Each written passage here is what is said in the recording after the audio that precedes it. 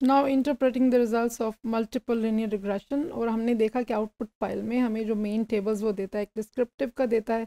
एक हमारा model summary देता है, एक हमारे पास इनोवा टेबल देता है और फिर हमारे कोएफिशिएंट्स का टेबल मेन होता है। तो let's discuss one by one तो दिस इज़ द डिस्क्रिप्टिव में बेसिकली वो मेन स्टैंडर्ड डिविएशन है, दूसरा टेबल हमारा मॉडल समरी का है। तो मॉडल समरी में आप देख सकते हैं, जैसे मैंने पहले बताया कि हमारे पास मोस्ट जो इंटरेस्टिंग और इंपॉर्टेंट वैल्यू है वो आर स्क्वायर की है which is point four seven so R square का मतलब है कि कितने परसेंट वेरिएंस हमारे तीनों इंडिपेंडेंट वेरिएबल मिल के हमारे डिपेंडेंट वेरिएबल में एक्सप्लेन कर रहे हैं।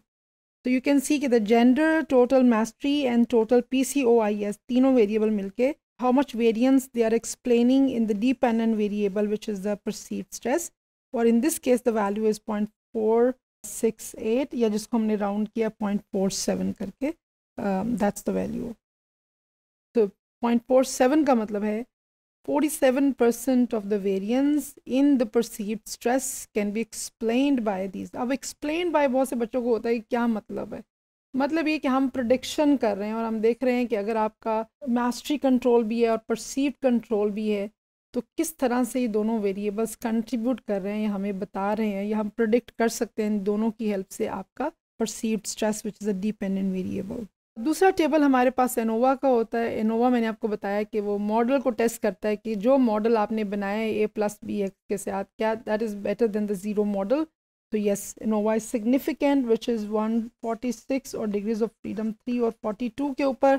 तो ANOVA is significant which means the model in this example gave the uh, statistical significance. So it is a better model to predict the dependent variable, which is the perceived stress. तीसरा variable हमारे पास जो बहुत ही important है वो है coefficients का और मैंने आपको बताया कि मल्टीपल रिग्रेशन के अंदर कोएफिशिएंट का टेबल हमें हर इंडिपेंडेंट फैक्टर या हर अपने हर प्रडिक्टर के लिए उसकी यूनिक देता है प्रडिक्शन कि वो कितनी होगी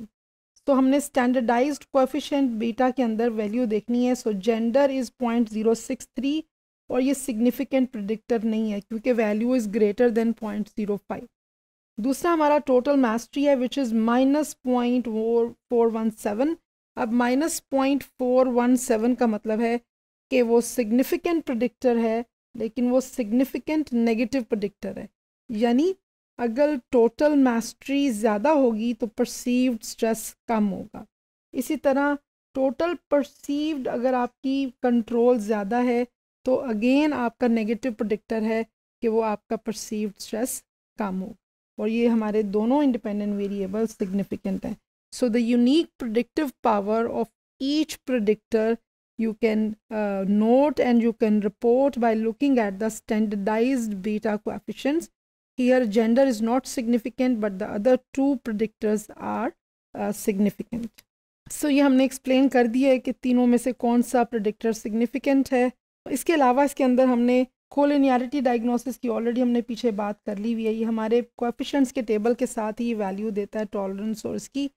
और ये हमने बात कर ली है कि हमारी सेटिस्फाइड हो रही है So the main values we will be reporting in the SPSS will be these three और हमने अगर ए और बी कोफिशेंट्स लगाने हैं तो ये हमारा ए कोफिशेंट है और ये हमारा हर एक के लिए बी कोफिशेंट है to form a regression line